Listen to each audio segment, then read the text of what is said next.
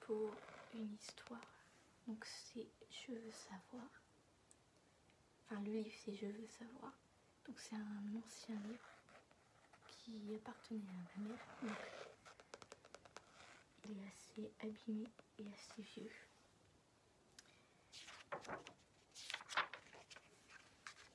Il date de 1973. Et euh, dedans, enfin c'est des livres de... avec euh, des livres de collection on va dire. Il y a plus de 15 livres avec plusieurs euh, histoires sur les hommes célèbres, sur des chants, plein d'autres choses comme ça, sur des jeux aussi. Et donc du coup moi je vais vous lire, on va aller à la page 153. Et je vous retrouve aujourd'hui pour la lecture du Petit Chaperon Rouge.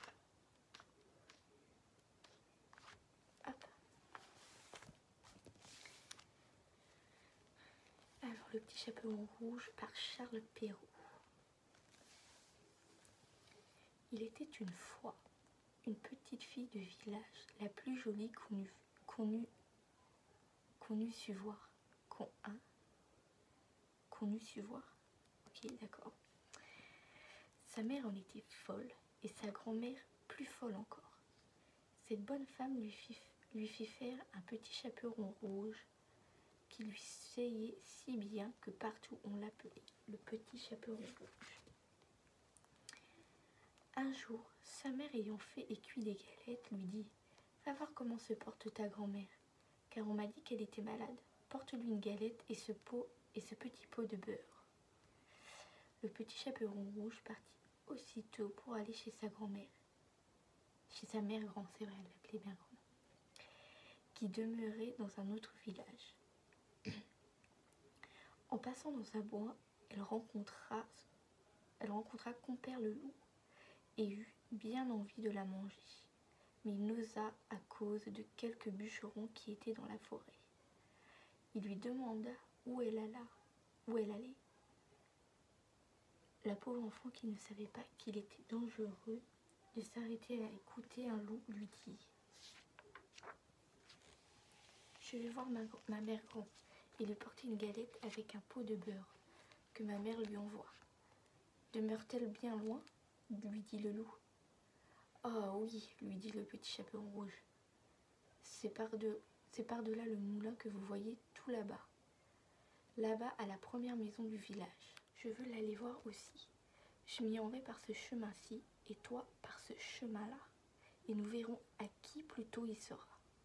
Le loup se mit à courir de toute sa force par le chemin qui était le plus court, et la petite fille s'en alla par le chemin le plus long s'amusant à cueillir des noisettes, à courir après des papillons et à faire des bouquets de petites fleurs qu'elle rencontrait. Le loup ne fut pas longtemps arrivé à la maison de la grand-mère. De la mère grand, j'ai du mal avec ça. Il frappa à la porte. Toc toc. Qui est là? C'est votre fille, le petit chaperon rouge, dit le loup en contrefaisant, en contrefaisant sa voix, qui vous apporte une galette et un petit pot de beurre que ma mère vous envoie. La bonne mère grand qui était dans son lit, parce qu'elle se sentait un peu mal, lui cria Tire la chevillette, la bombinette chéra. Le loup tira la chevillette et la porte s'ouvrit. Il se jeta sur la bonne femme et la dévora en moins de rien, car il y avait plus, de trois jours qu'il n'avait mangé. Ensuite, il ferma la porte et, s'alla coucher dans le lit de la mère grand, en attendant le petit chaperon rouge qui, quelque temps après, vint heurter la porte. Toc toc, qui est là? Le petit chaperon rouge qui entendit la grosse voix du loup eut peur d'abord. Mais croyant que sa mère grand était enrhumée, elle répondit C'est votre fille, le petit chaperon rouge qui vous apporte une galette et un petit pot de beurre que maman vous envoie. Le loup lui cria en adoucissant un peu sa voix Tire la chevillette, la bombinette chéra.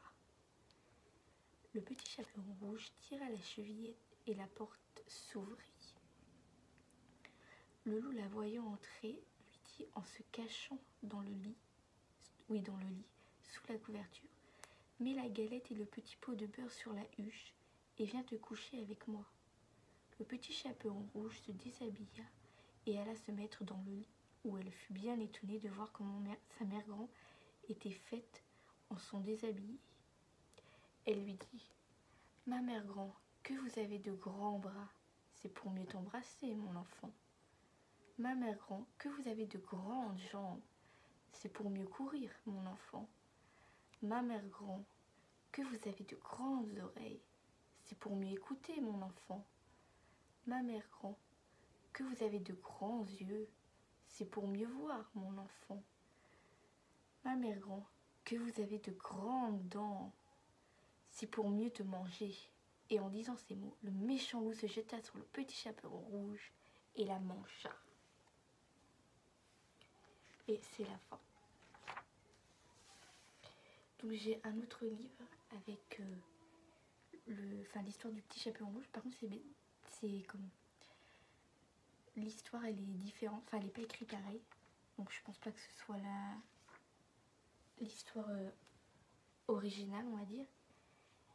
Et du coup, bah, dites-moi si vous voulez que je vous lis aussi euh, l'autre version. Sauf que du coup, dans l'autre version, c'est un petit lapin qui joue le petit chaperon rouge. Donc voilà, n'hésitez pas à me dire si, si ça vous intéresse. Et du coup, dedans, il y a plein d'autres histoires. Le cendrillon, le petit poussé, le cordonnier et les elfes, la belle au bois dormant,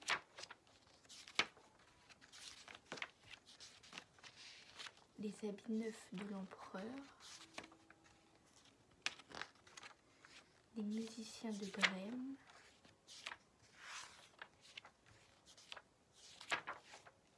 Podane, et de vraies images là.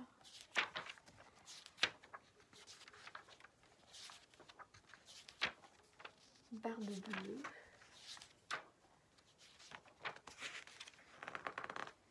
Voilà, et ensuite des contes d'autres pays. Donc il y a Aladdin.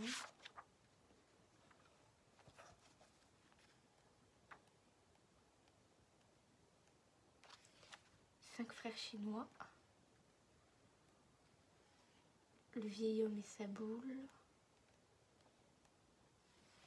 Les oiseaux invisibles.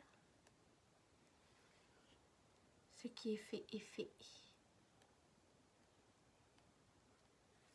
Euh, Gudbrand sur la colline. Euh, le putois dans le four de Tante Odette.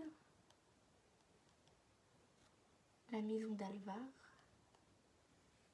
Ensuite les récits mythologiques. Il y a plein de plein de choses. Voilà, donc dites-moi si vous voulez que je vous lise, que je vous lise l'autre version du petit chaperon rouge. Et s'il y a une autre histoire que que dans ce que je vous ai cité là, que vous voulez que, que je lise. Voilà. Je vous dis à une prochaine pour une nouvelle vidéo. Bye bye.